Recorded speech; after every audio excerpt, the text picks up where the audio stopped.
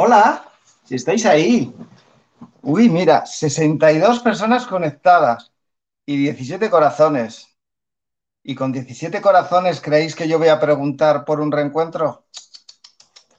A ver esos corazones. Si queréis que yo hable del reencuentro, corazones para arriba. 17 no.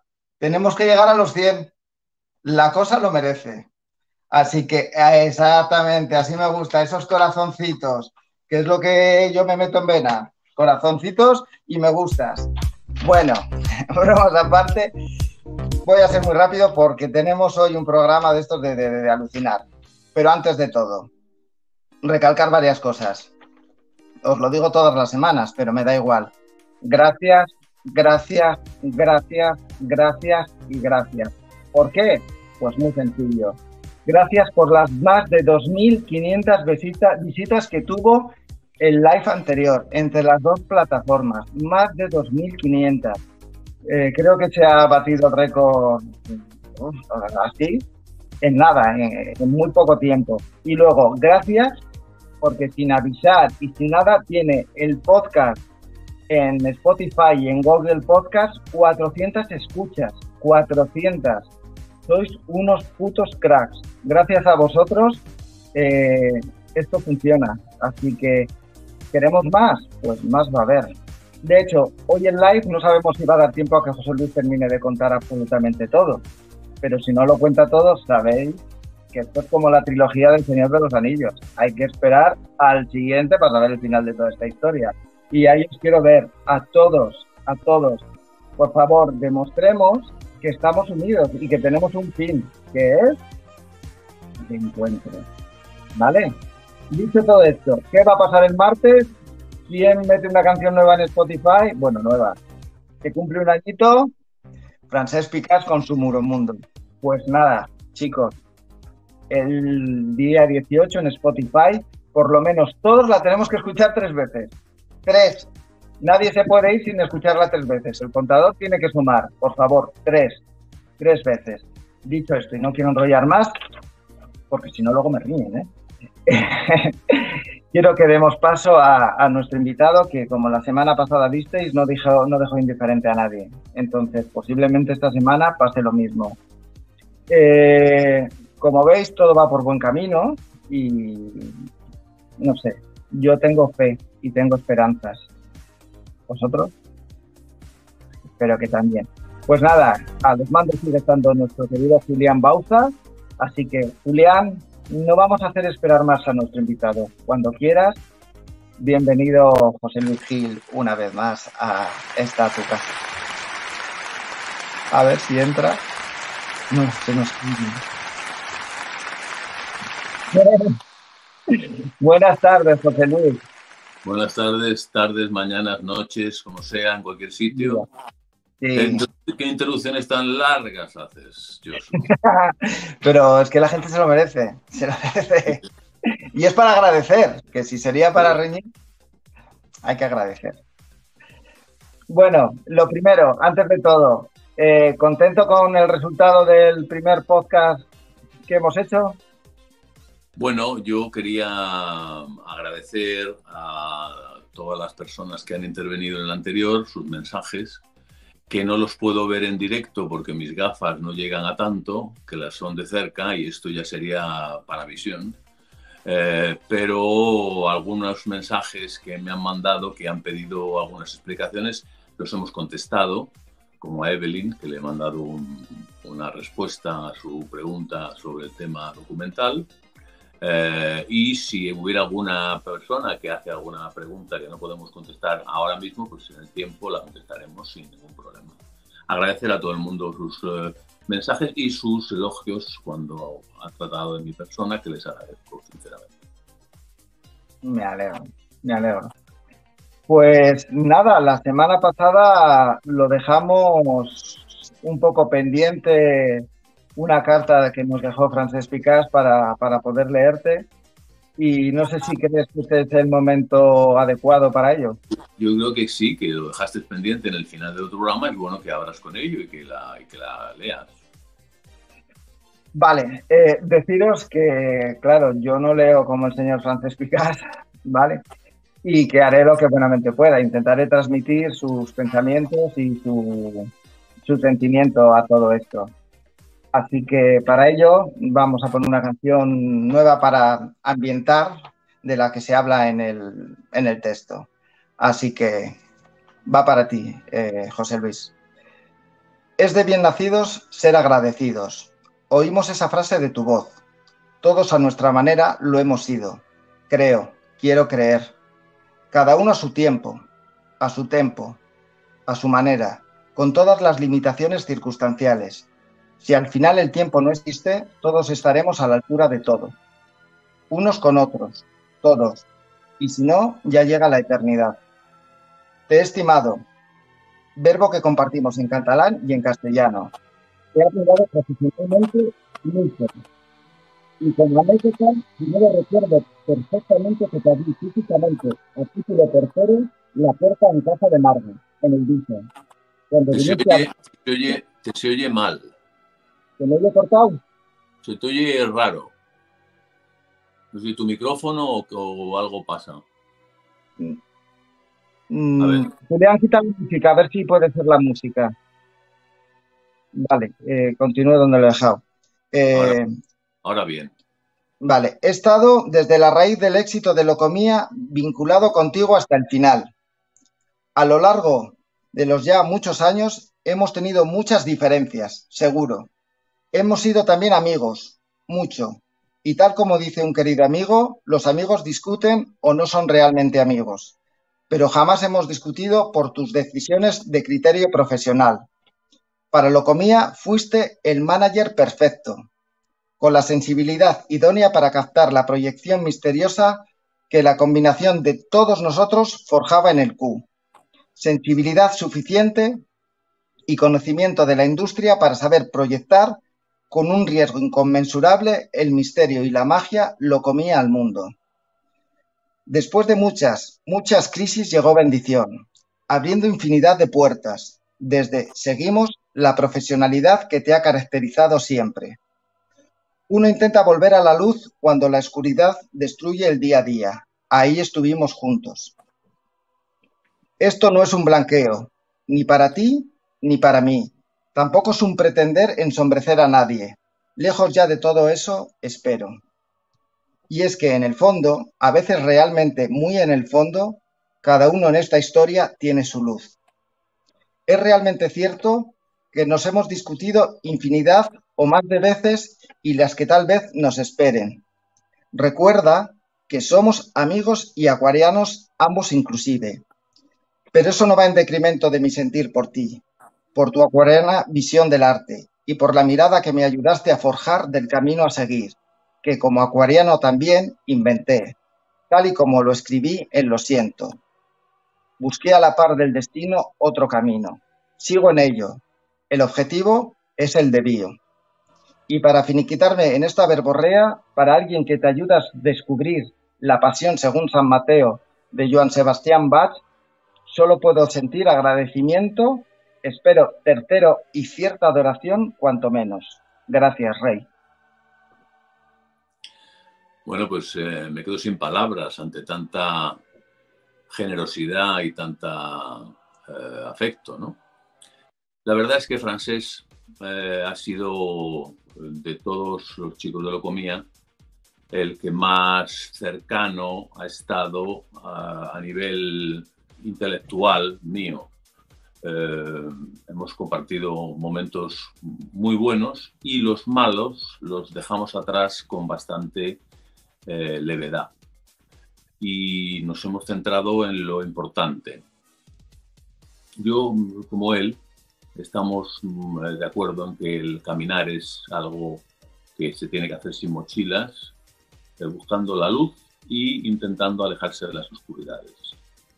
Eh, me alegra saber que siente todo eso que siente, que lo reconoce y le echa de menos muchas veces, en muchos momentos pero he respetado sus tiempos, tiempos en los que él necesita irse al interior para reforzarse cuando salga al exterior.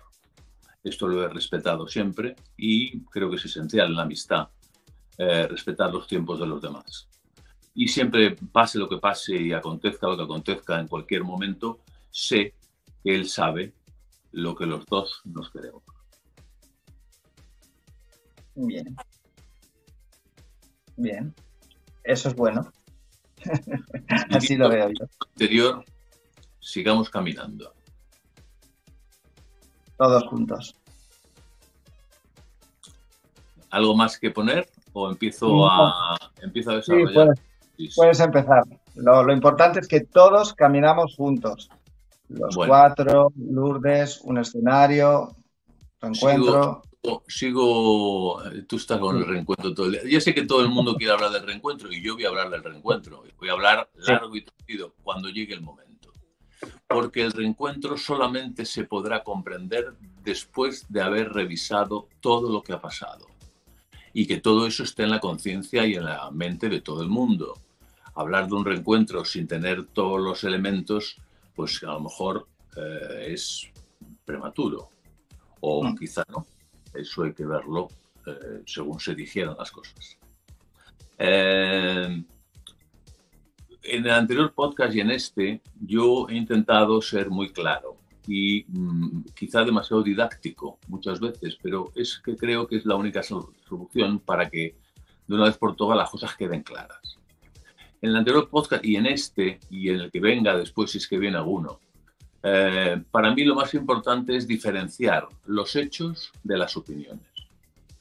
Yo aquí estoy para contar hechos, porque mi opinión puede ser importante o no, eh, pero los hechos, como han sucedido las cosas, como se demuestran con las cosas que han pasado y con los documentos que se tienen, esos son incontestables. Eso no es lo que yo digo, lo que tú dices, eso es lo que fue. Y lo que fue es lo que fue. Cuando yo digo una opinión sobre algo, digo, esta es mi opinión sobre esto, y hay opiniones subjetivas. Pero hay luego hechos concretos que, son, que no se pueden refutar. Eh, quiero aclarar sobre el tema del documental y vuelvo a ese tema rápidamente. Que en las entrevistas que se hicieron a toda la gente que participó y que yo lamenté que no estuviera francés en ese documental, pero al mismo tiempo respeté su decisión. Por esa cosa que digo que las gentes tienen que respetarse unos a los otros para que eh, las amistades perduren.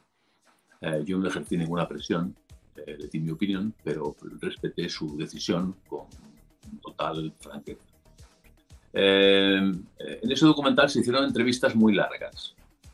A Carlos, a Juan Antonio, a Manolo, a Lourdes, a todo el mundo, incluido a mí.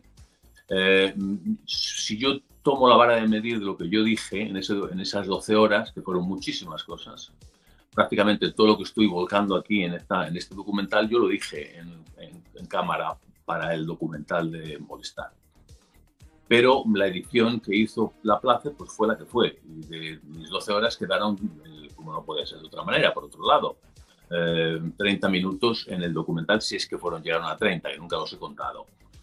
Y lo mismo le pasa a todo el mundo. Quiere decir que hay muchas cosas que a lo mejor Carlos dijo que no han salido reflejadas y que Juan Antonio dijo que no han salido reflejadas y que Manuel dijo que no han salido reflejadas. Es decir, que es posible que haya muchas verdades que se hayan contado, pero que no se han sabido porque no han salido las cosas.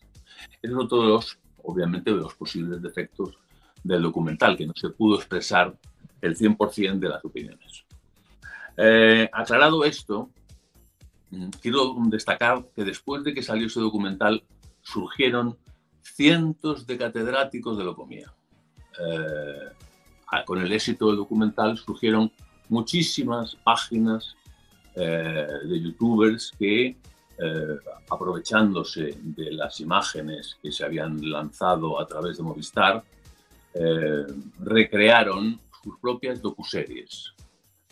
Mm, yo quiero dejar claro que mm, yo creo mucho en la libertad de expresión, pero siempre que la libertad de expresión no aproveche o no eh, use derechos de otros para los cuales no tienen permiso. yo como compañía defiendo los intereses de los autores, que son los autores de las canciones.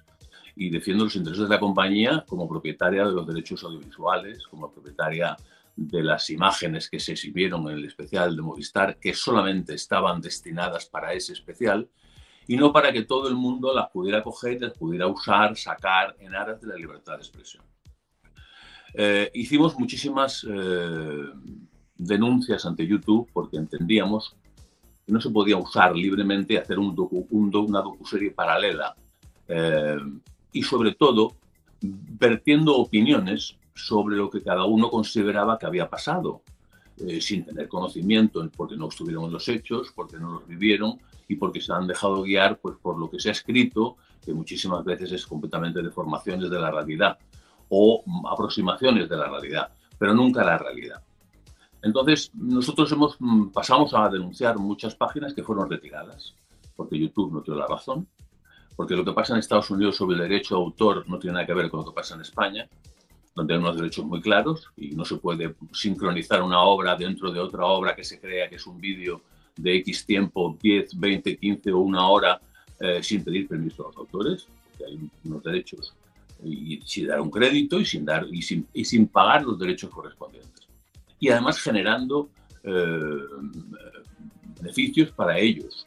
Es decir, que no han, hecho, no han sido operaciones que se han hecho por el bien de lo comía, han sido operaciones que se han hecho por el dinero de cada uno de las gentes que ha hecho estos, eh, estos vídeos, por su, por su publicidad directa, por la monetización que hacen del producto, etcétera, etcétera.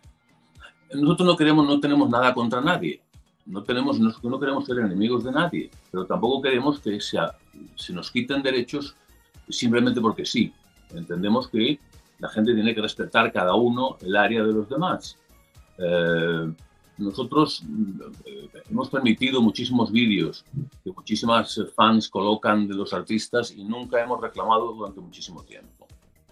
El motivo del documental ha sido una especie de floración de no solamente esos vídeos que una fan sube o que una página de fans sube, sino profesionales de los documentales que viven de crear de un momento de actualidad un propio vídeo, una propia obra, eh, y con eso ganar dinero, porque su interés es ganar dinero, no es que lo hacen por amor a la comida.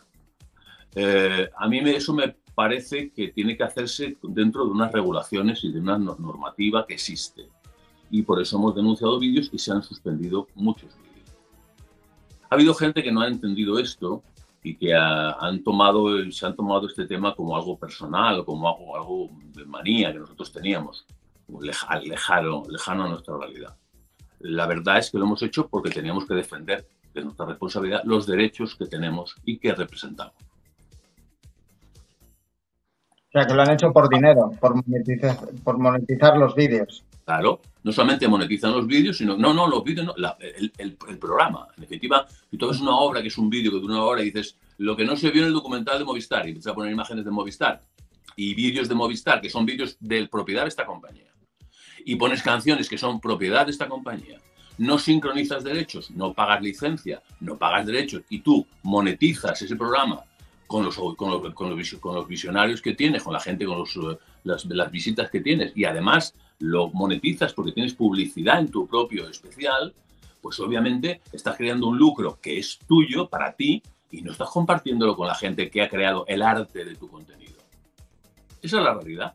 Entonces que un señor se ponga a dar opinión, que la dé pero que la dé sin poner las imágenes de lo comía y sin poner la música de lo comía, porque eso no le pertenece.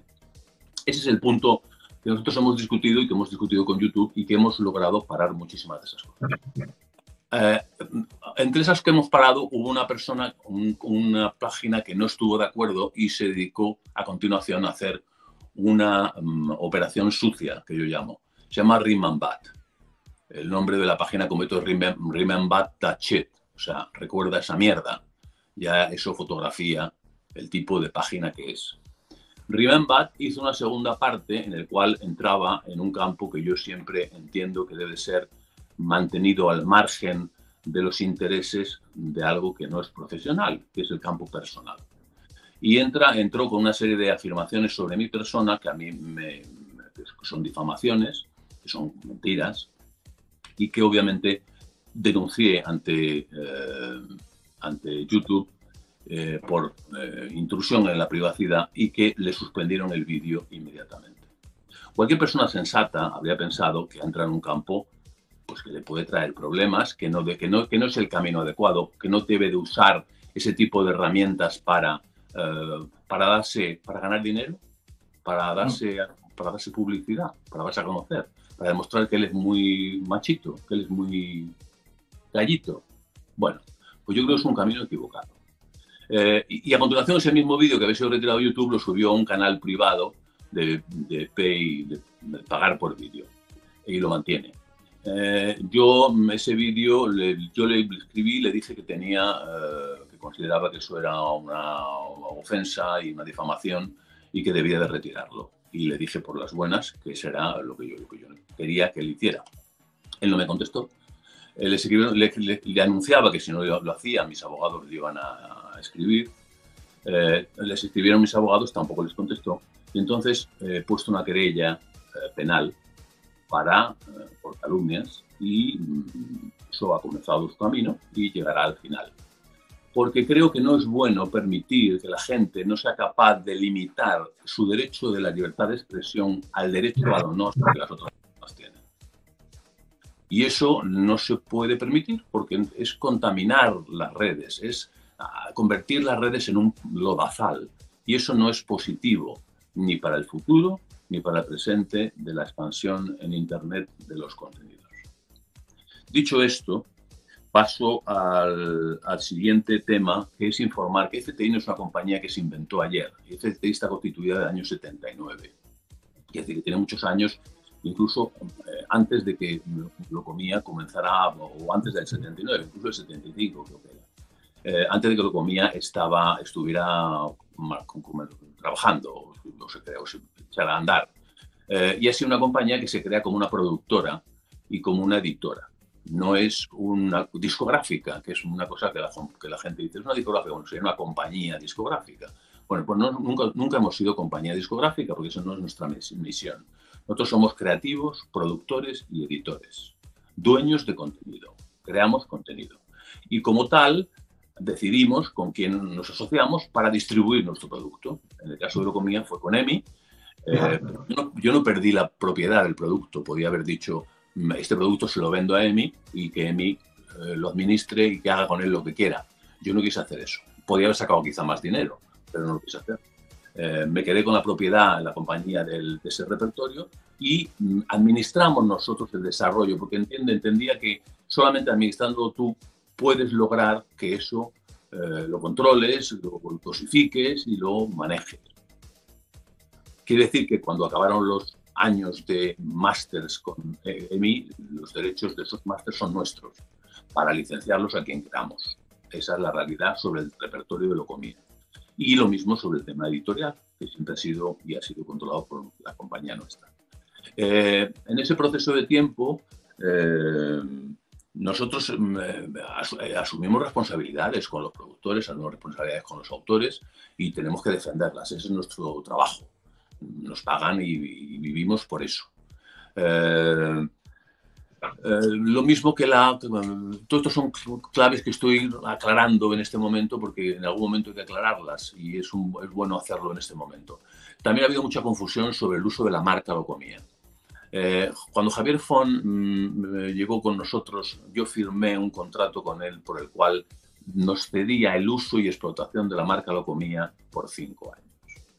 Durante ese tiempo, Javier tenía, había registrado la marca Locomía en algunas cosas, por ejemplo, en peluquería o en ropa o en el nomenclator español, que es internacional, tiene un montón de categorías y tú puedes registrar tu marca en la categoría que tú vas a utilizar. Quiere decir que si tú vas a hacer un grupo musical, lo registras en la clase 9, que son discos, música digital, películas, audios, vídeos, y no lo registras en la, categoría de muebles, porque yo con la marca Locomía no pienso hacer muebles. Quiere decir que ¿por qué me tengo que gastar el dinero en registrar en un epígrafe del nomenclator la marca Locomía para hacer muebles y no explotarlos? Obviamente tener una marca implica pagar un dinero, tenerla por un periodo de tiempo, que son 10 años, y después de esto, eh, enfrentarte a cualquier gente que quiera registrar la marca Locomía en muebles, y si tú no estás de acuerdo o tú consideras que tú quieres explotar muebles, tienes que oponerte y tienes que pagar dinero y tienes que tener abogados y tienes que discutir eh, y eh, patentes y marcas decides si tú tienes razón o si el señor que quiere hacer muebles con el nombre de Locomía tiene razón para hacerlo. Esa es la realidad legal de la Asociación de Marcas. Desde el primer día, Javier no tenía registrada la marca 9, la clase 9, que es la que, la que habla del tema de discos. La compañía nuestra lo registró y lo ha mantenido registrado durante todo el tiempo. Cuando em, ah, se registran por 10 años, lo, registramos, lo renovamos y actualmente la marca en la clase 9 la tiene mi compañía, su nombre, vigente hasta el año 2032. O sea que yo puedo usar la marca Locomía, no tengo que pedir permiso a Javier Font, porque tengo concedida la marca Locomía en el epígrafe 9, que es grabaciones discográficas, vídeos, audios, películas, eh, etcétera, etcétera, lo que tiene que ver con comunicación audiovisual. José Luis. Sí. Disculpa, ese papel que tienes tú en la mano está actualizado a día de hoy. ¿Tú podrías hoy usar ese nombre? Está, ahí tienes el título de la marca. Ahí está el número de la marca concedido. A nombre, de, a nombre de FTI, la marca lo comía. Y por el reverso están todos los epígrafes que contiene la marca, que dice películas cinematográficas, grabaciones audiovisuales, música digital descargable, discos compactos, DVDs, soporte de grabaciones digitales, grabaciones de audio, grabaciones de sonido, grabaciones de vídeo, medios de grabación analógica, virgen de cinta magnética. Es decir, todo lo que tiene con ese epígrafe lo tiene mi compañía, no lo tiene Javier. Yo no he registrado la marca Locomía en abanicos, porque yo nunca he vendido abanicos. No me han interesado vender abanicos. Ni nunca he registrado la marca Locomía en tiendas de helados porque nunca he querido poner una tienda de helados. Ni nunca he registrado la marca de comida en perfumes, porque nunca me ha interesado hacer un perfume, ni lo quiero hacer ni lo voy a hacer nunca. Quiere decir que si todos esos epígrafes Javier Font los registra, estará a su nombre y él tendrá la capacidad de lanzar un perfume o hacer una tienda de helados o lo que él considere, mientras que él pague el registro de esa marca en ese epígrafe, él tendrá la marca y será la potestad de esa marca. Por otro lado, él, tiene, él, tiene, registrada la marca 42, que es un epígrafe para grupo de actuaciones en directo. Esa marca la tuvimos nosotros durante el tiempo que Locomía estuvo en activo. Cuando Locomía dejó de actuar y como yo nunca más tuve interés en que Locomía fuera un grupo que cantara canciones, porque para mí había acabado en el año 96, cuando se acaba la última formación de Locomía, la última actividad, no se renovó más esa marca y quedó eh, libre. Entonces Javier la registró a su nombre posteriormente y él tendrá, tiene la marca 42 por la cual está actuando con ese grupo Locomía. Pero la marca Locomía no es de alguien solo, puede ser de muchas gentes si tú tienes tu patente registrada en el epígrafe que a ti te corresponde explotar. Obviamente tienes que demostrar que lo has explotado. Pues yo te que sirve tener un registro en la marca Locomía de discos y no hacer nunca discos, o no tener discos lanzados con ese nombre, o no tener soportes que justifiquen que tienes una patente y que la estás explotando. Si no la explotas, pues es que te dirán un día que te hagan una oposición, oiga, usted tiene una marca en paraguas, pero nunca lanzó un paraguas. Entonces hay un señor que quiere lanzar paraguas, que quiere oponerse a usted y que quiere tener la marca. O sea, patentes y marcas es un mundo eh, legal muy complejo eh, y muy caro. Y muy caro. Porque una patente mundial de cualquier cosa cuesta una verdadera fortuna. Como digo fortuna, digo miles de euros, miles de euros. O sea que eh, hay que ser serio cuando se habla y hay que saber de lo que se habla, porque mucha gente ha dicho muchas tonterías sobre esto. Eh, Javier Font tenía un contrato conmigo, yo tenía el derecho a, utilizar y a registrar la marca de comida en lo que yo hubiera querido, porque tenía esa libertad. La mantuve, caducado el contrato, y en ningún momento eso mm, debió de ser ni suscitarse un problema. Lo que pasa es que a la gente le gusta enredar, confundir, muchas, he leído muchísimas notas. Y entonces eh, Fred Fon le ganó el pleito a Gil del uso de la marca Locomía. Mentira. Nunca hubo ningún pleito por la marca Locomía. Nunca ha habido ninguno. Yo registro una marca, él si quiere oponerse se opone y si me dan la razón, pues quiere decir que la marca Locomía en, en discos hoy la tengo yo en la clase 9 que es la clase que defiende mis intereses. Dicho esto, aclarado esto, vamos a volver a la cronología que dejamos el otro día pendiente con Locobox. Eh, fue esencial para darle estatus a ese disco los directos que se hicieron con un músico que se llamaba Javier Coble, que fue el que montó la banda en España. Y otro músico que se llamaba Sergio Vainikov, que fue el que, el que montó la banda en eh, Argentina y para toda América. Eh, ambos dos hicieron un trabajo excepcional. Iban acompañados en los coros por Lourdes, por Benjamin y por Huevo, que fueron tres vocals que acompañaron a la banda en muchos momentos. De hecho, pues Benjamin y Huevo están en el concierto de Viña del Mar. Eh, y Lourdes ha estado en muchísimos conciertos. Eh, todo esto significa que mm, eh, los directos dieron a Locomía una veracidad, un peso y, también le dieron un, trabajo. Es decir, el esfuerzo de Locobox en el año 91 fue un esfuerzo mm, demoledor, porque había que estar atendiendo un mercado español, lanzando un disco en América, promoviendo el disco aquí, promoviendo el disco allá. Cuando se dice promover, es como un tren que va a toda velocidad. Una vez que tú estás echando madera a la caldera, tú no puedes pararla de golpe. Es decir, ahora no vamos a ir más a México porque no tenemos tiempo. Porque entonces te cae el mercado. Tienes que volver a hacer una televisión. Las televisiones no están cuando tú quieres, las televisiones están cuando se hacen especial en Acapulco, pues hay que estar ahí. Si quieres estar en esa televisión, tienes que ir a Acapulco. Eh, que se hace un especial en Venezuela de Miss Venezuela, pues hay que ir a Miss Venezuela. No es que te están esperando que tú digas, el día 15 voy, el 23 no. O sea que el trabajo de Locobox fue un trabajo demoledor, porque teníamos Locomía por un lado, el repertorio más Locobox, ya se pudo consolidar un show con capacidad para que la gente se lo creyera y se hizo, se hizo ese trabajo eh, con máxima presión. Eh, en este punto quiero hacer una reflexión sobre el mundo gay y en los discos de Locomía. Comenzaron a llegarnos muchas cartas de mucha gente, de muchos fans de todos los lados, eh, agradeciendo la compañía y al grupo que gracias a nuestro trabajo o a la exposición que habíamos hecho de Locomía, ellos habían, se habían sentido mejor, se habían sentido comprendidos, se habían sentido liberados, se habían sentido con mayor autoridad para poder dar un paso adelante y poder hablar de su sexualidad en su casa o con los amigos, porque cuando se creaba un fenómeno como lo comía, que era un fenómeno de éxito, de masas, de gente que eh, le gustaba el, concepto, pues justificaba también su propio existir, su propia visión de la vida. Y eso fue muy reconfortante.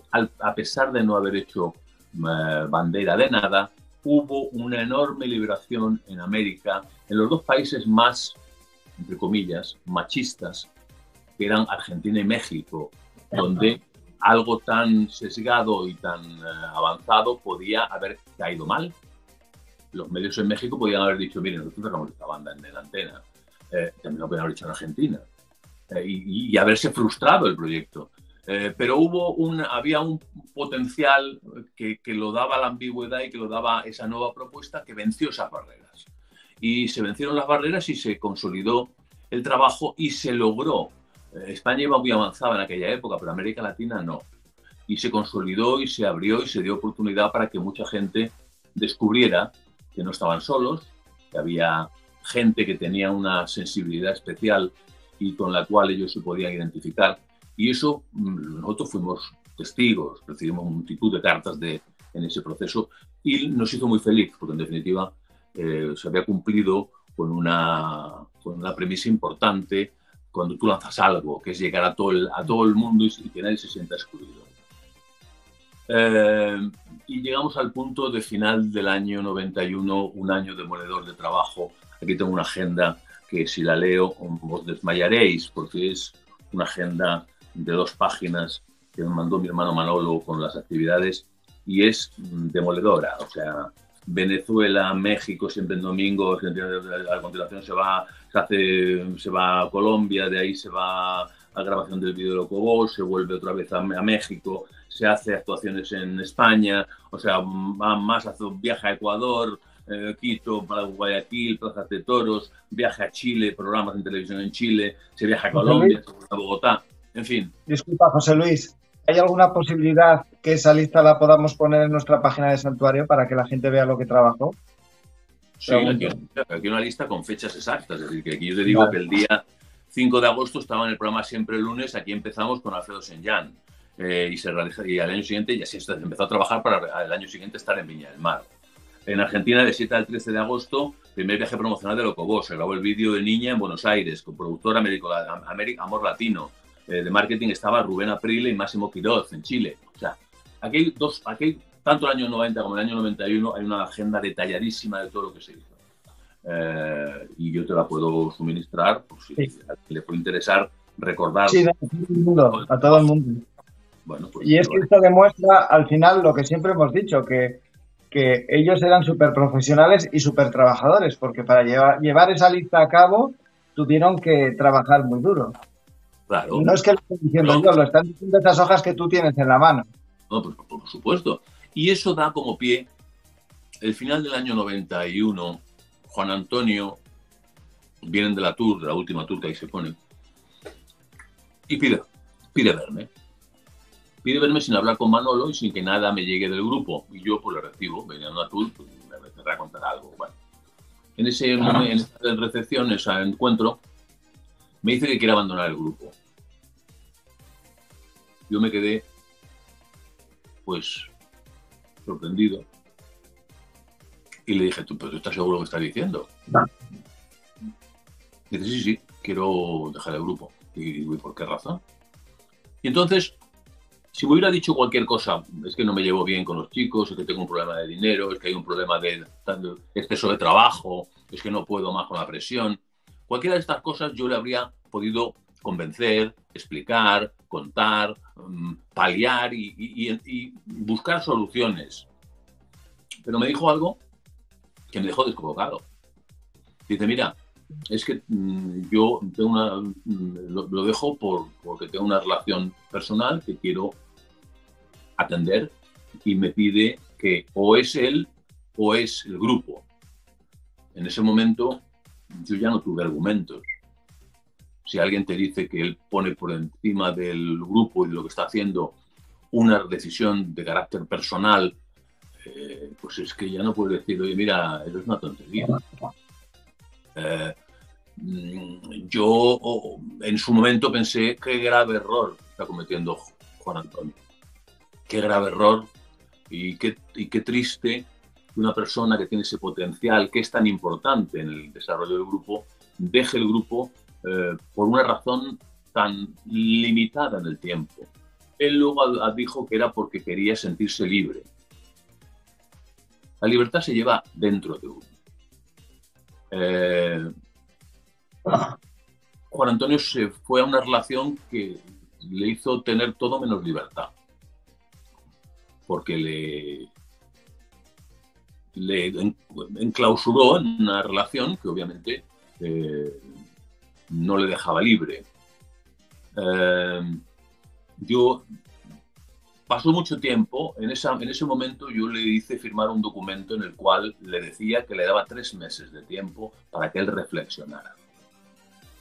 Eh, el tiempo y me dijo que no, que él seguía pensando lo mismo y que ya había comenzado una nueva vida y que tenía unos nuevos intereses y que no le interesaba volver a la comida. Cuando se le dijo esto al grupo, el grupo se dio por sorprendido, como que no sabían nada. Yo no sé si es que Juan Antonio vino conmigo y no quiso decir nada a nadie para que nadie pudiera crear una contraoperación y dijo, yo hablo con Gil, resuelvo y que sea lo que Dios quiera. La realidad es que los chicos se quedaron tristes, sorprendidos y tuvo consecuencias nefastas. Nefastas porque si Juan Antonio hubiera estado en el grupo cuando se produce el cisma de Miami, Juan Antonio era un verso suelto, no era satélite de fondo. Y probablemente habría dicho, oye, un momentito, que yo quiero seguir haciendo lo que estoy haciendo, he luchado por hacer esto que estoy haciendo. El que él no estuviera en aquel momento ya en la formación, pues sin duda fue uno de los elementos claves para que aquel cisma se diera. Si hubiera estado Juan Antonio, eso no habría pasado. Es, hoy, esa es mi opinión hoy. Vale, disculpa. Disculpa, José Luis. Yo, eh, yo he oído otra versión de, esta historia. O sea, no. Lo que has dicho está bien. Yo también pienso que si Juan Antonio se hubiese quedado, eh, hubiese podido seguir el grupo. Pero la marcha de Juan Antonio mm, yo tengo entendido que no es solo un tema de, que se enamoró. Sí, que, de un tema personal, sí, vamos a dejarlo en eso. Sino que había más motivos. que no tiene nada que ver el resto del... En lo que a mí me llega, en lo que a mí él me dice... Ahí estoy. En lo que a mí... Eso que... Pues que yo tenía otra versión diferente. O sea, que él había dado otras explicaciones diferentes. Lo que a mí él me dice, en ningún momento me dice, no puedo más con la presión, no soporto a mis compañeros, no quiero más. En ningún momento me habla del tema profesional. Porque si me hubiera hablado, yo le habría contestado a todas esas cosas. Porque tenía argumentos para haberle dicho, mira, estás en un momento mm, clave de tu carrera, eh, has conseguido lo que muchísimas gentes luchan toda la vida y no consiguen, no escupas para el cielo porque te puede caer en la cara. O sea, no se puedes aprovechar las oportunidades que el destino te pone en la mano y que te hacen y, que te llegan y te producen esos beneficios económicos, de personalidad. Ahora, que todo eso no lo quería él o que la presión le hizo, a mí no me lo contó. Yo le habría dicho, si me hubiera hablado que la presión, le habría dicho, pues mira, Juan Antonio, cuando comenzaste esta historia, se supone que tienes que saber que si esto se convierte en un éxito, esta presión venía. Y si me hubiera llegado a decir al final de todo eso, mira, es que la presión yo no sabía que era así. Hoy que es así, no la soporto más. Y a pesar del dinero, a pesar de la fama, a pesar de las fans, a pesar de todo, yo quiero dejarlo con ella. Eh, yo le habría, yo tenía un contrato en vigor con él, la compañía tenía un contrato y teníamos tres discos más por delante. Yo le podía haber dicho, oye, mira, tú tienes un contrato y debes de cumplirlo. Eh, no se trata que ahora tú digas que no quieres jugar. Estamos en la mitad del partido. El partido hay que acabarlo. Cuando tú acabes tu contrato, tú serás libre. Le podía haber dicho eso. Yo no le dije eso. Yo le dije, si eso es lo que tú realmente en lo profundo de ti sientes, adelante. La libertad. No le cobré nada, no le pedí que me pagara nada, no le exigí nada, eh, simplemente le dejé salir y le dejé marchar y le dejé volar libremente. Pero fue un grave error. Esto mismo. Yo le escuché en una entrevista decir que, bueno, que como que ya se sabía un poco que, Javier se iba a encargar de, un poco otra vez del grupo y que eso a él en realidad no lo hizo mucha gracia. Yo creo que eso lo escuché en una entrevista y como que para nada. Sería eso. En aquella época, Javier no existía. En aquella época Javier no existía. Ni existía, ni existía ninguna posibilidad de que Javier se fuera a incorporar en el grupo y te voy a decir que luego... no incorporar un componente del grupo, sino como lo que hizo cuando fue a, a, Estados Unidos. nada de eso existía porque no estaba en nuestro pensamiento. Y, y, llegaré a ese punto en el que explicaré por qué entra Javier Font a acompañar al mm. grupo en Miami. Pero luego, en el mes de noviembre, eso no existía. No existía para nada. Eh, yo con Juan Antonio luego mantenía una relación personal muy buena. Le fui a ver cuando él estaba estuvo aquí en Madrid. Le vi en Barcelona cuando entró en el mundo de la hostelería. Eh, le acompañé y hicimos unos días de, turismo por, por eh, Cataluña. Eh, siempre he mantenido, respeté sus relaciones, siempre he mantenido con él una relación muy cordial. Eh, luego hubo una, una, interrupción de nuestros contactos por muchos años. Yo me fui a América, eh, él vino a mi casa de Brasil, él estuvo con mis hijos pequeños, yo tengo fotos de Juan Antonio con mis hijos que tenían pues cuatro o cinco años en mi casa de Brasil y él con ellos en el, mar, tengo fotografías de eso, que algún día se la voy a mandar para que la tenga. Eh, y, fue una persona con la que yo tenía mucho cariño, porque era un chico muy simpático, era y es. Un chico muy simpático, muy divertido, muy atento, muy cordial y con el que yo tuve una relación realmente muy afectuosa. O sea que Juan Antonio como con Francés fueron las dos personas más cercanas a nivel humano a mí que no lo fue Carlos ni lo fue Manolo. Carlos y Manolo eh, nunca tuvieron esa cercanía que tuvo Francés y Juan Antonio.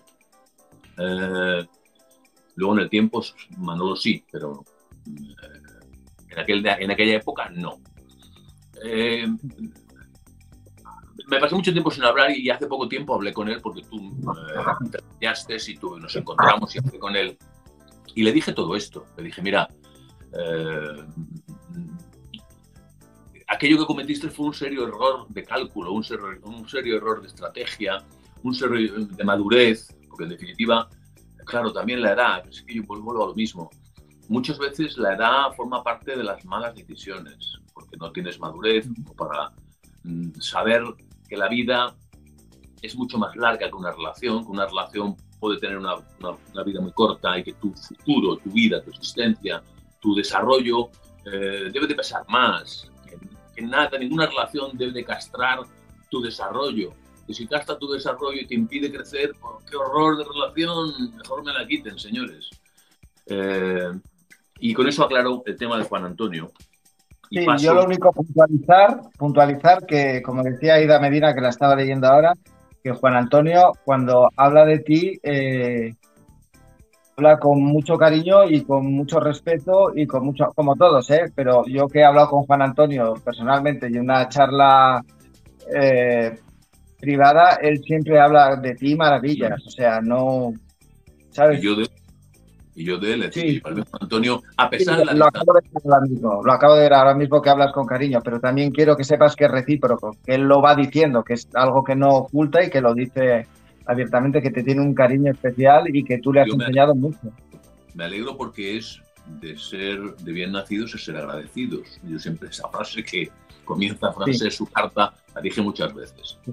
Entonces, me, ojalá eh, yo siempre deseo a todo el mundo que le vaya bonito en la vida, que le vaya bien y que, y que pues, eran gentes que fueron iluminados, tuvieron la iluminación, la gracia de...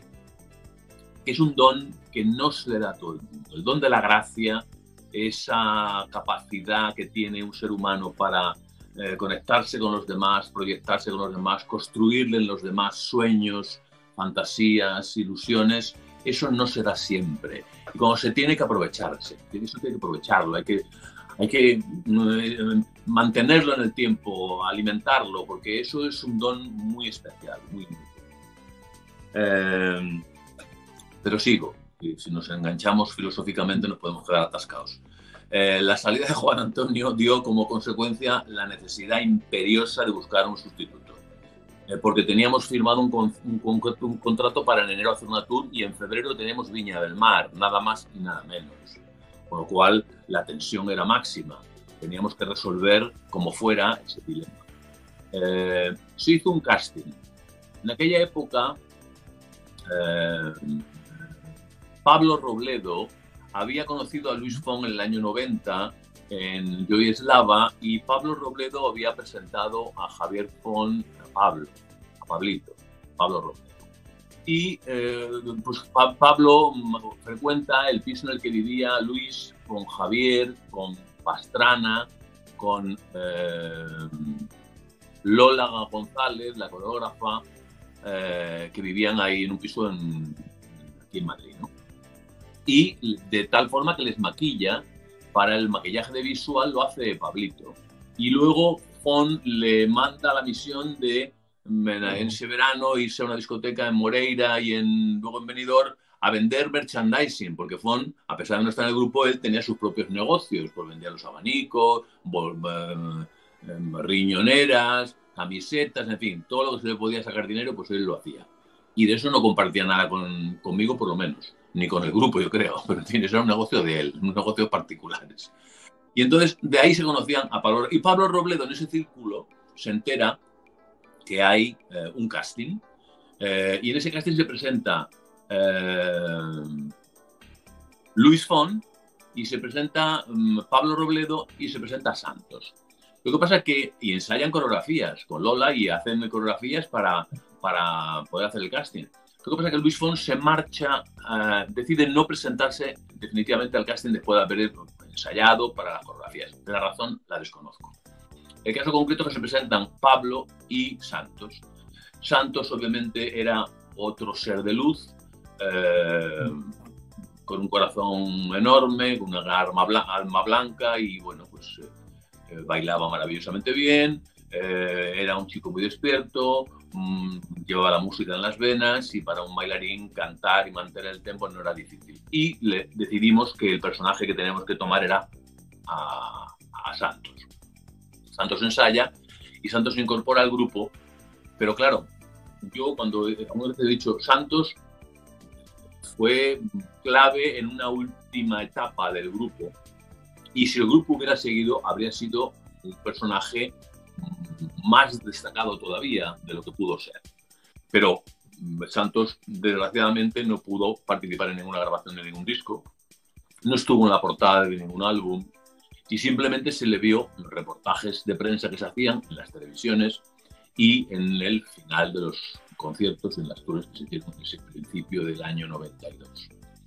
Eh, y esto me lleva a Viña del Mar.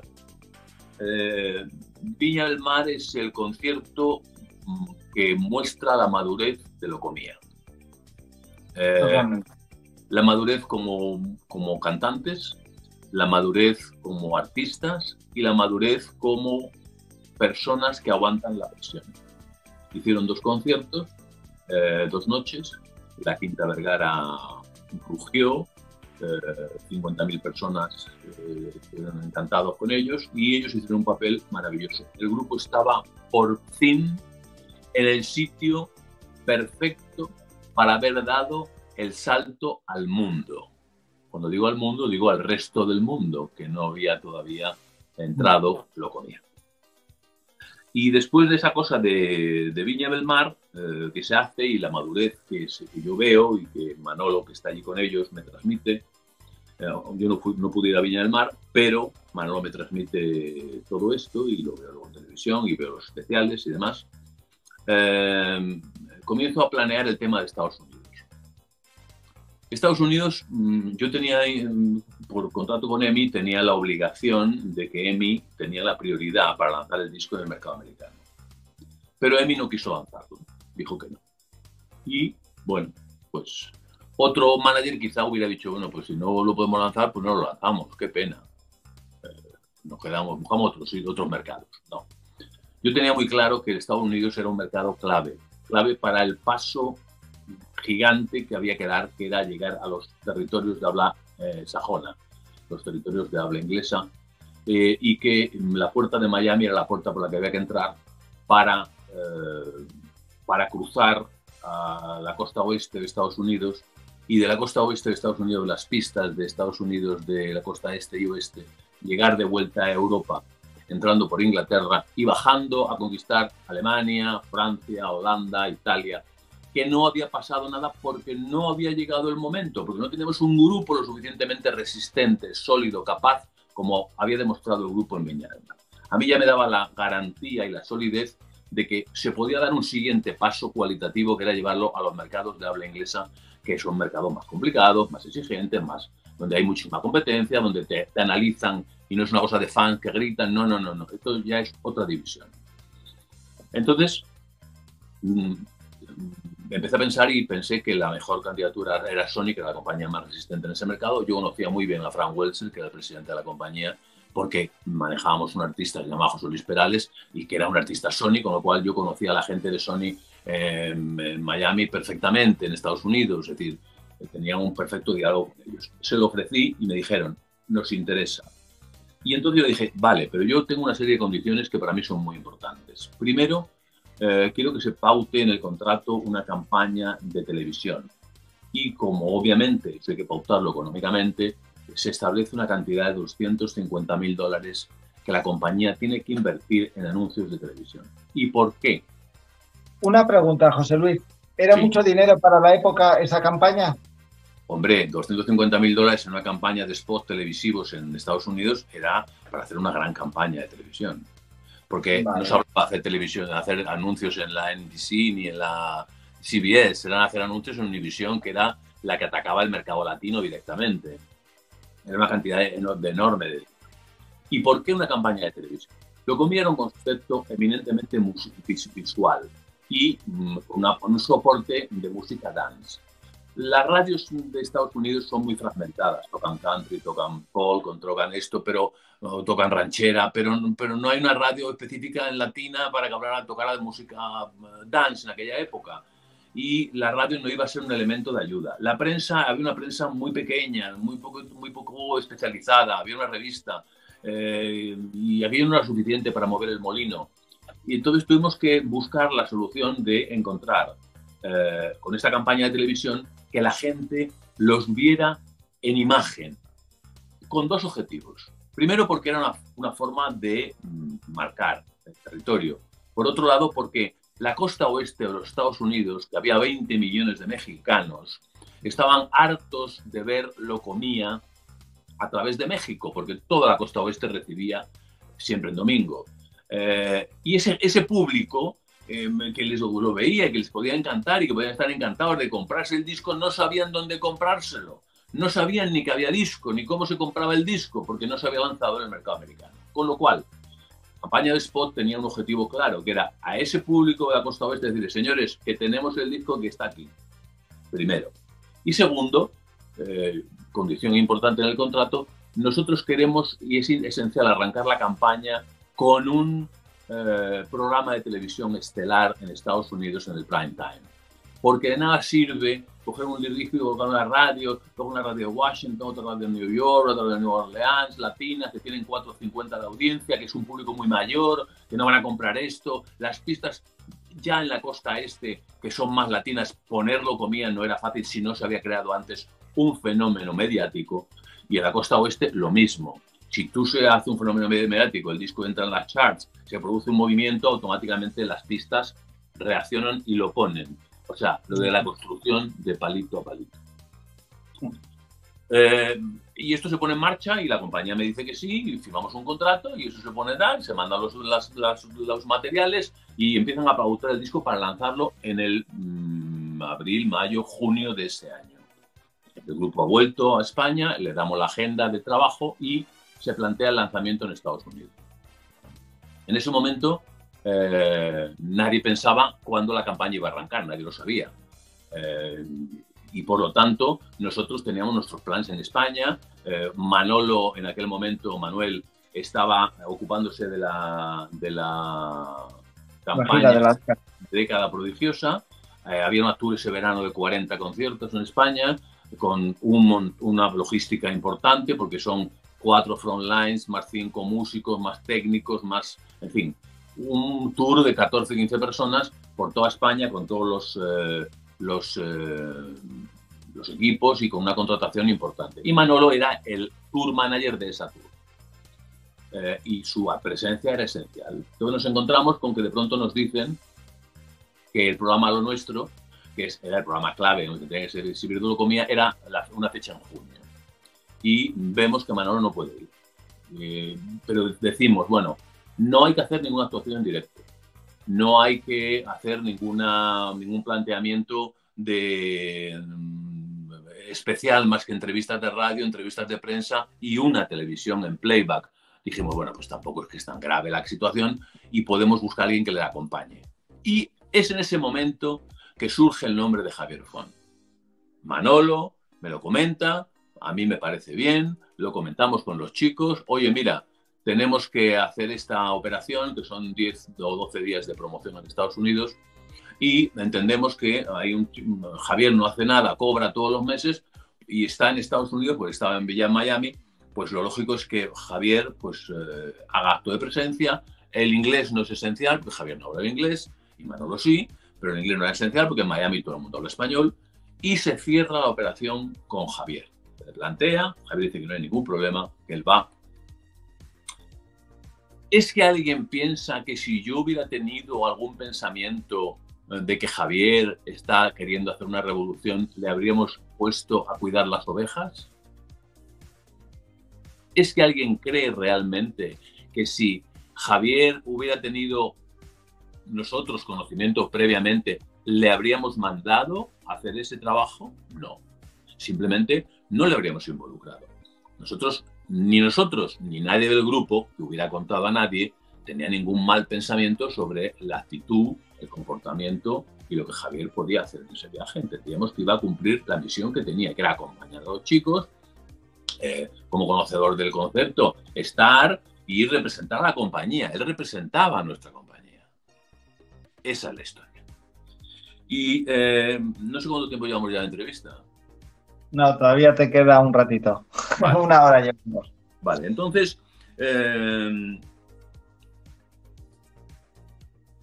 en aquella presentación de lo nuestro, pues eh, todo el mundo mm, que se reúne en, un, en, un, en, un, en, el, James Knight Performance Center de Miami, hubo un gran programa de televisión en directo para todo Estados Unidos, con los grandes artistas que reciben los premios, pues estaban los grandes del momento, era Ricky Martin y los grandes personajes eh, que actuaban y que recogían premios esa noche, y el, y el artista invitado era Locomía. Entonces, en el público estaban todos los grandes, pues Stefan, todos los productores, las compañías, la creme y la creme. Y actúa Locomía y todo el mundo se queda pasmado de ¡Wow! ¿Qué es esto? Entonces, eh, lo que yo he sabido posteriormente es que un personaje que estaba pululando por allí, llamado Luis Balaguer, eh, un sujeto temerario, como yo le califiqué en los escritos que mandaba, eh, pues este Luis Balaguer, que su único mérito es que era hijo de una de las secretarias ejecutivas de División, porque no habían jamás manejado un artista musical, porque no tenía ninguna experiencia en el mundo de la música, porque en definitiva era un chico muy joven, sin ninguna experiencia, creyó que él había descubierto a comía. Dijo, wow, esto es, este grupo, este, este grupo lo, tengo que representar yo. Sin pensar, o probablemente sin saber, porque los americanos son muy paletos y creen que América es el centro del mundo, que ya el grupo había hecho Argentina, México con éxito durante dos años y que habíamos hecho galas, actuaciones, etcétera, etcétera, etcétera, y que había contratos. Bueno, probablemente sin saber nada de esto, pues se acerca a FON y le dice, oye, no sé qué estáis haciendo eh, en España, eh, vosotros sois como Michael Jackson en Estados Unidos, tenéis que venir aquí y aquí vamos, esto va a ser la bomba. Y a Javier Fong esa música le suena bien, porque eh, alimenta su, en principio, ego o su codicia o su resentimiento, que si lo existía nunca lo afloró, nunca lo detonó con nosotros, y es por lo que yo digo que fue una traición. Fue una traición, una traición personal, una traición eh, no solamente profesional, fue una traición humana que él hizo. Que es que a las personas que te han dado de comer durante dos años, a las personas que te han hecho ser y ganar dinero durante dos años, que han sido capaces de colocar tu proyecto en el lugar maravilloso y perfecto en el que te encuentras, a esos mismos vamos a apuñalarlos por la espalda. Vamos a apuñalarlos sin dejarles que respiren. No les vamos a dejar respirar, les vamos a apuñalar por la noche y con alevosía. Esa fue la operación. Porque nosotros recibimos eh, una, carta una mañana del día 24 de junio de Estados Unidos, un burofax, que es este. Un burofax que lo mandaban eh, por, fax, eh, por un fax certificado, que decían, por la presente los aquí abajo firmantes, Carlos Armas, con domicilio X, Manuel Arjona, con domicilio X, Francés Boisader y, Santos Blanco, le comunicamos que en efectivo inmediato usted o las compañías que usted dirige o controla cese y desista de contratar u obligar a Locomía en nuestro nombre a Locomía. Cualquier comunicación que usted desee tener con nosotros, favor hágaselas al señor Luis Balaguer, nuestro apoderado y agente, con un domicilio en Florida. Alguien que se quiere separar de alguien tiene que tener causas muy serias.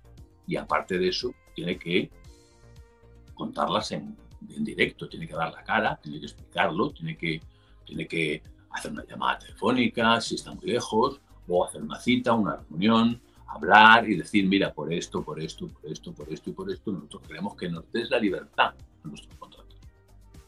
Pero lo que tú no puedes hacer es mandar un fax despidiendo a la persona que te tiene contratada.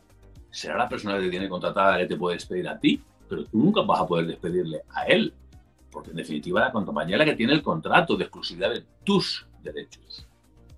Contrato que tú has firmado libremente, que está ejecutándose de manera excelsa, con todos los beneficios que pueden existir, y, no es comprensible que alguien haga ese tipo de despedida por carta, una carta. Después de los años, el afecto, la amistad, la cercanía, todo eso no sirve para nada.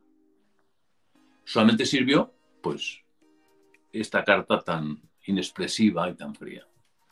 Esta carta yo la contesté inmediatamente dos días más tarde, con un, con un fax, una carta que mandé el día 26 y otra que mandé el día 29.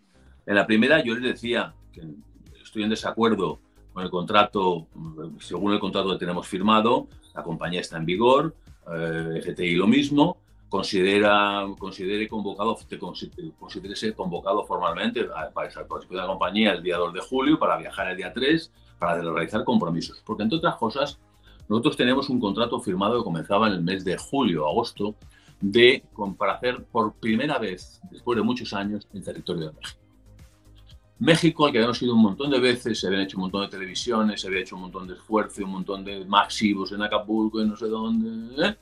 Nunca habíamos podido actuar porque eh, México es muy especial. El circuito más común, un circuito común es el de, las eh, peleas de gallos, que es el y nosotros ahí no cuadramos para los palenques. No, cuadramos para nada porque obviamente la música lo comía pues no tenía nada que ver con ese circuito nosotros teníamos que ir a discoteca, pero las discotecas tampoco había tantas discotecas grandes en México, no era algo usual en la época. Eh, y entonces teníamos que hacer o grandes recintos o teatros. Los grandes recintos era muy complicado porque había que invertir mucho dinero y no había seguridad en el mercado de que eso se pudiera dar ese paso. Pero yo convencí a un amigo mío, que se llamaba Guillermo Lauder, para que, que era un productor de teatro, para que hiciera una tour de teatros y firmó 40 actuaciones para hacer toda la República el DF, Guadalajara, Monterrey, Guanajuato, Veracruz, toda la República, Acapulco, toda la República en teatros. Dije, wow, por fin vamos a sentar el territorio mexicano, por fin eso va a dar pie para que el mercado americano se siga inflando por la costa oeste con lo que va a pasar de todas las televisiones y vamos a ir cerrando un círculo que es perfecto para desarrollarse. Obviamente no tenía pensamiento de hacer ningún disco, como se ha dicho también, que lo como que Party Time fue un disco pensado para... No, no, no, no, no. Yo no tenía pensado en ningún disco con lo comía en ese año, para nada en absoluto. Había que remachar el mercado americano. Había que haber cerrado ese mercado bien cerrado, haber cerrado eh, la Tour de México, eso habría inflado la costa oeste, en fin, había toda una estrategia muy bien diseñada y se frustró por esa operación que se puso, que puso en marcha. ¿Pero hubieseis sacado un nuevo single para promocionar toda esa tour? No. No, porque el mercado estaba virgen. En el mercado americano se estaba trabajando con Locomía. No, no, me refiero para, para la Tour de México, para reforzar esa tour. Un álbum, tenemos un álbum virgen que era Locobox. Estábamos trabajando Locobox. O sea que mm, teníamos nuestra fiesta latina, faltaban muchísimas cosas para haber seguido trabajando en el mercado mexicano hasta final de año. Yo no tenía planes de hacer ninguna grabación con Locomía hasta el año 93 porque no era necesario, porque teníamos dos discos, mm, uno eh, explotado, pero otro a medio explotar y había que desarrollar todo el material que eso tenía. O sea que no era pues, para nada eh, pensado hacer ningún disco.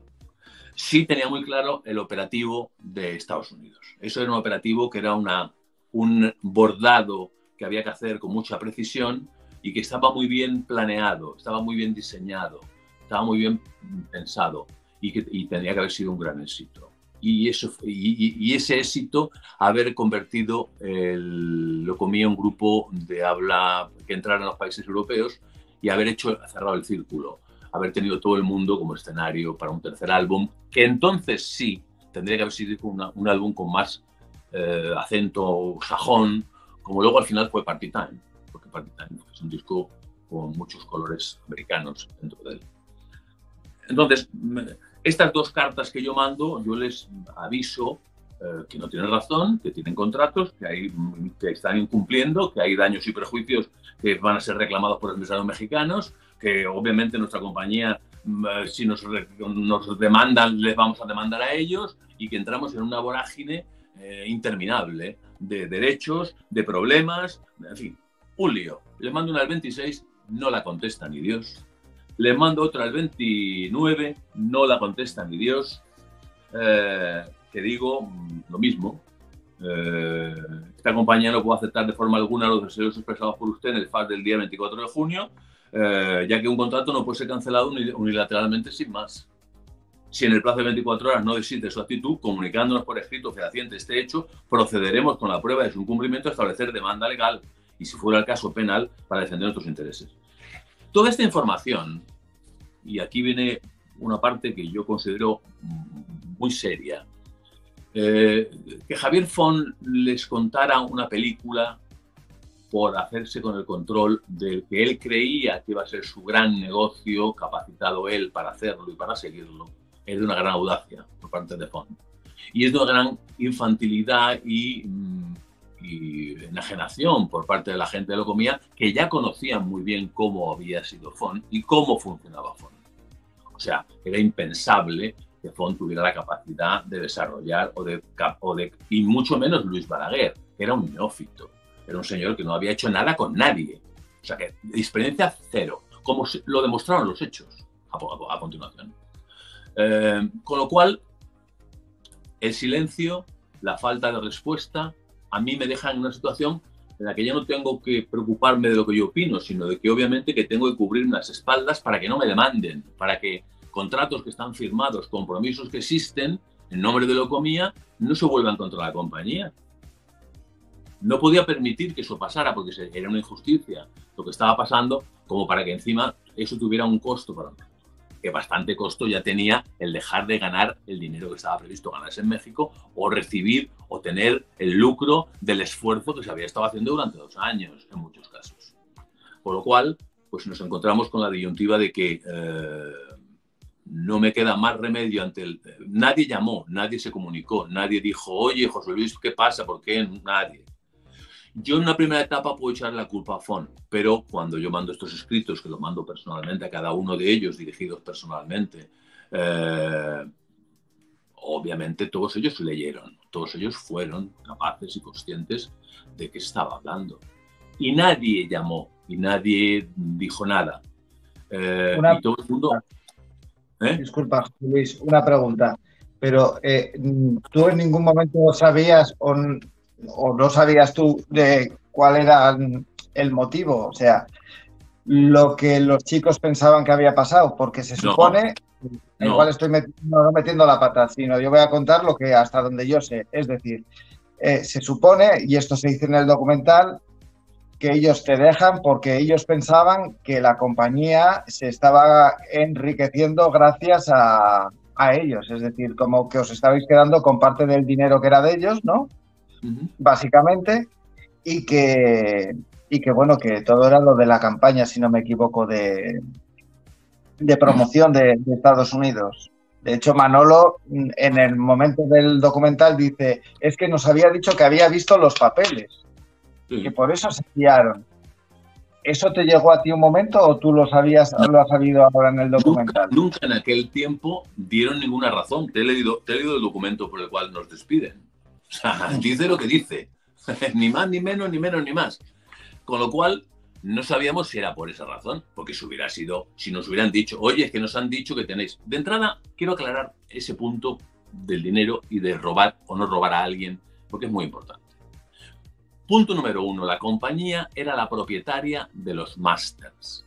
Había invertido su dinero no solamente por el que había creado la parte musical, sino que había hecho la grabación, era la propietaria de esa propiedad industrial llamado Masters de Locomía. Como propietaria, que éramos, nosotros no teníamos por qué darle ninguna explicación a ninguno de ellos. Es como si un empleado de Coca-Cola le dice Coca-Cola, yo no, te fusiones con aquel o no le venda la marca a aquel otro porque yo trabajo aquí. Y le habría dicho Coca-Cola, mira, usted trabajará cuando usted quiera, pero yo vendo mi compañía a quien yo quiero. Es decir, si yo hubiera querido vender mi compañía hubiera querido, vender los másteres de Locomía a Estados Unidos. Y hubiera dicho a Sony, mira Sony, no te hago un contrato de licencia, que es lo que le dice. Te voy a vender los másteres y te los voy a regalar a ti o te voy a cobrar 200 millones de euros o de dólares. Habría sido mi negocio. Yo soy muy listo, soy un tío muy inteligente y he hecho mi negocio. Y a Locomía le tendrán que pagar los royalties de los discos que se vendan. ¿Por qué será nuestro contrato? Nuestro contrato es, tú no eres mi socio, tú eres un artista y recibes un royalty de las ventas de los discos. Si no se venden discos, no recibes royalties. Quiere decir que la tontería de decir que nosotros habríamos, nos habíamos quedado con X dinero de ese contrato era una solemne estupidez, porque lo podíamos haber hecho, teníamos razón y derecho legal para hacerlo. Nadie podría haberse escandalizado por eso. Siempre y cuando se hubieran vendido los discos, yo le hubiera pagado sus royalties. Pero es que ni siquiera esa es la situación. La situación es mucho más surrealista. La situación es que de un contrato que, es, que no sé cómo llegó a manos de Fonme, pues sé, sé, Luis Balaguer, su madre secretaria de Univisión, gente de CBS, pues le de Sony, le darían copia del contrato. Cosa que a mí no me importó, ni me, ni me, que me es indiferente. Pero la falta de conocimiento de las personas, es decir, cuando tú no eres capaz de interpretar un contrato, cuando tú no eres capaz de saber lo que un contrato dice, y Javier pues obviamente no tiene esa capacidad, pues puedes entender o puedes creer lo que tú quieras creer. Y si a ti te interesa más creer eso, razón de más, para que tú vendas, creyéndotela o no, a los demás una versión, la que tú quieras y demuestra la, inmadurez de Carlos, de Manolo, de Francés y de Santos de creérsela, de tragársela y de no pensar en ningún momento, joder, Gil realmente nos puede hacer esa putada después de todos estos años que hemos, estado trabajando, después de lo que nos ha demostrado, se va a quedar con nuestro dinero. ¿Cómo se puede quedar con nuestro dinero? O sea, todas esas cuestiones, alguien se las tiene que preguntar. Todas esas cuestiones, alguien tiene que coger un teléfono y decir, oye, José Luis, pasa esto ¿Qué es lo que ha pasado con esto? Y dar la cara. Y darle al otro, antes de apuñalarle, el derecho a explicarse. El derecho a aclarar las dudas que pudiera tener quien hubiera sido. No hubo esa posibilidad. No hubo esa posibilidad. Lo que sí entiendo, José Luis, es que aun habiendo pasado ya tiempo, cuando pasó todo esto, eh, que después hubo comunicación, porque con Francés ha sacado el disco Bendición, con... Vamos por partes. vale, vale. En aquel momento se produce una situación que no tiene salida y que a mí me deja sin ninguna alternativa nada más que hacer otro grupo. ¿Por qué? Porque tenía un compromiso con una compañía llamada Emit, un tercer disco. Y porque tenía el dominio de la marca y porque tenía la música. Y entonces dicen, es que Gil, la mafia, la mano negra. No, ninguna mano negra, ni mano blanca, ni mano azul. Yo defendí los intereses de la compañía, que eran legítimos y que eran nuestros, y dije, señores, si ustedes no quieren ser Locomía, pues yo voy a crear un grupo que atienda los compromisos que Locomía tiene con esta compañía. No me dejaron otra alternativa. ¿Es que yo quería crear un grupo? No, no quería crear ningún grupo. Quería seguir manteniendo y haciendo válido un negocio que funcionaba de puta madre y que era cojonudo para todo el mundo. Para todo el mundo. Para ti, para ti, José Luis, disculpa, era la formación perfecta la que había en ese momento. Pero, claro, es obvio. Pero ¿por qué? ¿Tú te crees que yo di un paso en un mercado como Estados Unidos y no estoy seguro de lo que estoy haciendo? Por favor, que yo llevaba 20 años o 30 en el negocio. No doy un paso así porque sí. Yo di un paso cuando estoy seguro. Pero claro, no me podía imaginar nunca me pude imaginar que Javier Font iba a ser tan falto de inteligencia y que los chicos iban a ser tan influenciables como para no cuestionarse en ningún momento nada.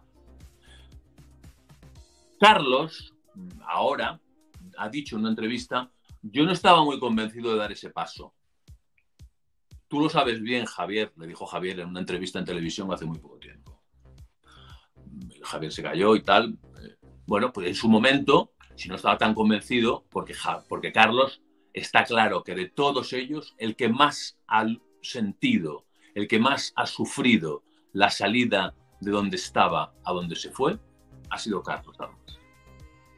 Es el que más, porque era el que más eh, plurito tenía por la posición que había alcanzado, por el papel de estrella que tenía. Entonces, para él, con el paso de los meses, el, golpe fue tremendo. ¿Cómo no iba a ser tremendo? Pero ¿cómo nadie pensó esto antes? ¿Cómo nadie pensó que esto podía pasar? ¿Cómo la gente se iba, cómo pudieron pensar en sus cabezas en ningún momento que yo me iba a quedar de brazo cruzado y iba a decir, ay, bueno, pues venga, iros, eh, pues nada, aquí me quedo yo. ¿Cómo podían pensar que eso podía ser así de sencillo? Cuando yo tenía los contratos, los derechos, la inversión, el negocio, era impensable, era impensable. O sea, es de una, de, inmadurez que, para mí era imposible de creer. Yo no me lo podía creer, digo, no me lo puedo creer, no me puedo creer que esté pasando esto. Esto es surrealista, esto es de ciencia ficción, señores. Porque no es que me estuvieran pegando un tiro a mí, se lo estaban pegando a ellos en la sien. ¡Pum! Se estaban matando ellos mismos.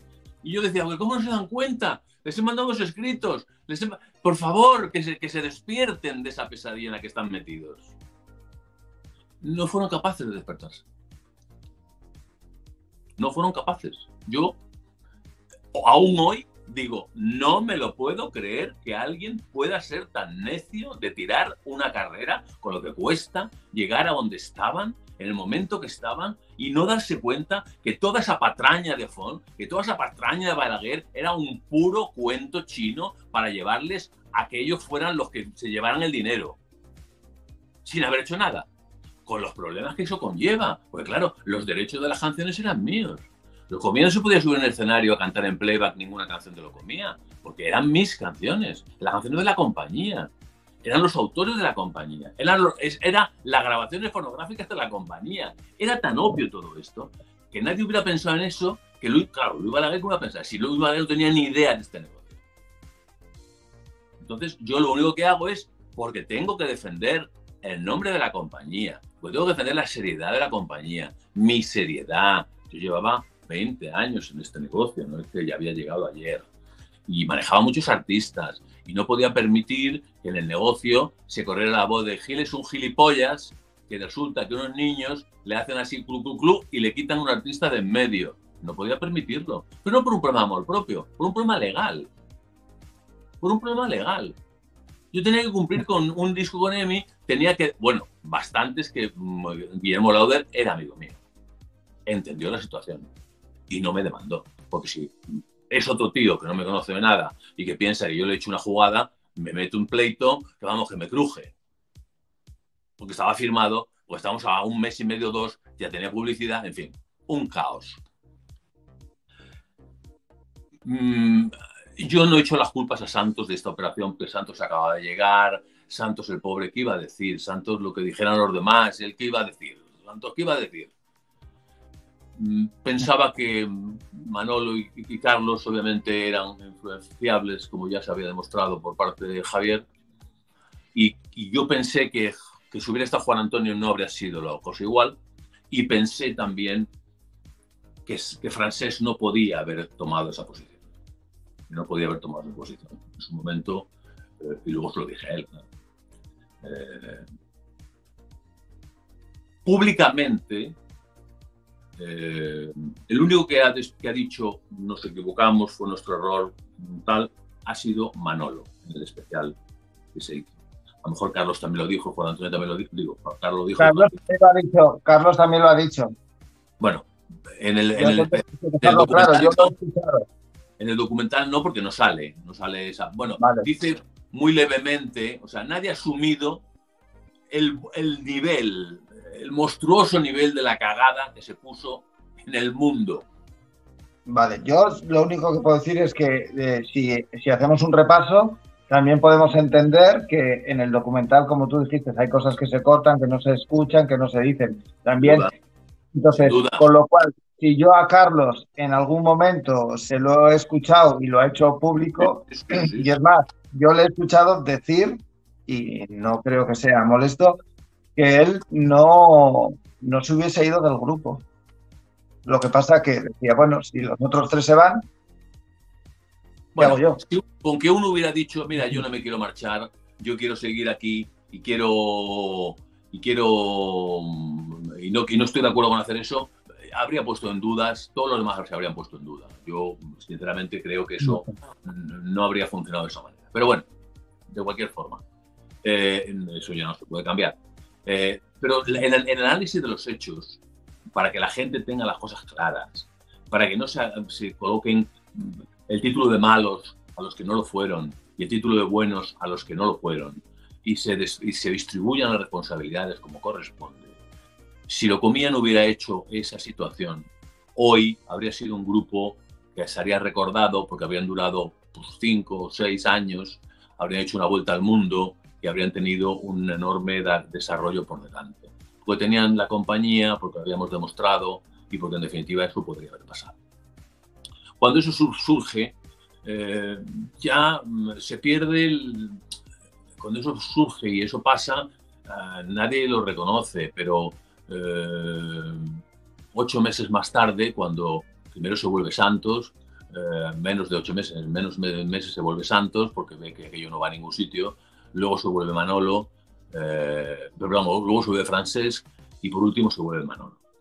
A mí tanto Santos no, porque no le vi, pero cuando volvió, pero Francés sí me dijo en su momento que obviamente había sido un error, y reconoció su parte de responsabilidad y me dijo que también reconocía, lo había reconocido Santos. Y Javier Fon, en un encuentro del que luego hablaré, eh, en, ese, en este año, en este año 2014, que yo me reencuentro con él, eh, en ese año 2014, Javier me pide disculpas en primera persona por eso que había pasado.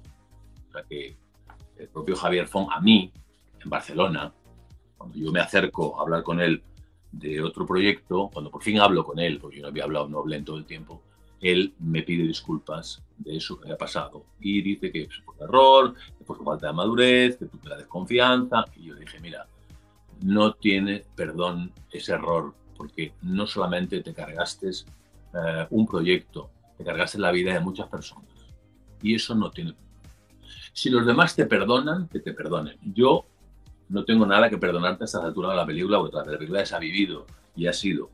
Pero obviamente eh, yo, no yo no lo voy a olvidar, no se puede olvidar, porque es una demostración de falta de honestidad, de falta de, responsabilidad, de muchas cosas. Eh, de todas formas... Eh, lo que sí te quiero pedir perdón yo, José Luis, es que una vez más el tiempo te lo has comido entero. Llevas 90 minutos de programa, programón.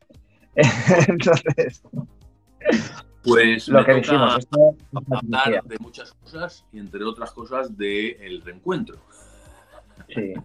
que cuando hayamos avanzado y os cuente pues todo lo que pasó a continuación, la vuelta de cómo yo no tengo rencores con Manolo eh, y con Santos, y les propongo hacer un trío, eh, un grupo del que hago demos, cómo no tengo rencores con Francés y le hago un disco, o sea, cómo mi rencor eh, muere.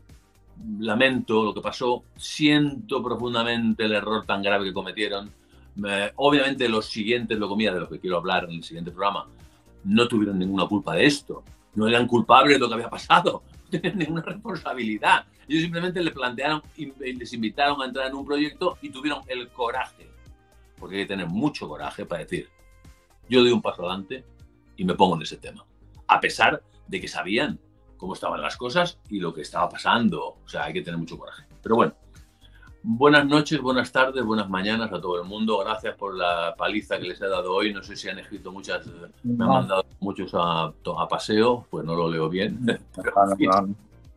Quedan Quedan muchas cosas más que aclarar. Yo lamento ser tan extensivo, pero solamente en la extensión se aclara en profundidad las cosas, para que las cosas se maticen y se queden claras. Sí, no, no, además que yo creo que todo lo que estás diciendo está quedando muy claro. Y además es que no está quedando claro todo el esfuerzo que hizo FTI Music, eso ya es indudable eh, y, personalmente te lo agradezco porque gracias a vuestro trabajo nosotros los conocimos más, pero también ha quedado muy claro que ellos trabajaron muy duro para, para, para llegar a, donde llegaron. Así, Es. Así es. Y bueno, la formación es una pena que se quedase O sea, yo todos los días, cuando pienso en lo comía y dejé de pensar, porque obviamente llega un momento que, no, que uno tiene que seguir avanzando en la vida y nunca, yo no me he quedado nunca anclado en algo, por eso nunca más he vuelto a hacer un grupo Locomía, ni me he interesado hacer un nuevo Locomía, porque Locomía para mí fue aquel Locomía que fue a Viña del Mar y que tenía el mundo por delante. Hasta ahora. Hasta ahora que te empieza a interesar. Hablaremos del reencuentro. Sí, hablaremos del reencuentro. Que bueno, lo importante es que hay que mirar al, futuro y, bueno, lo hecho, lo hecho pecho, ya está hecho. Bueno, este, este documental ha servido para hablar de, para que volvemos a hablar, volvamos a hablar de todo esto. La película va a ser ah. muy importante.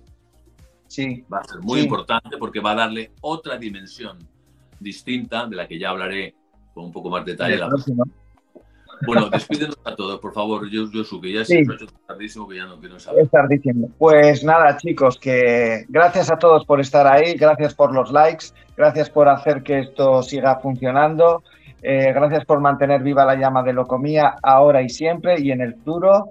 Y nada, que nos vemos la semana que viene, nos vemos pronto. Un beso a todos. ¿El próximo domingo entonces? Próximo domingo a la hora de siempre, ocho y media. Ok, aquí estaremos. Para, para, dar el tercer capítulo de la docuserie de los Hasta luego.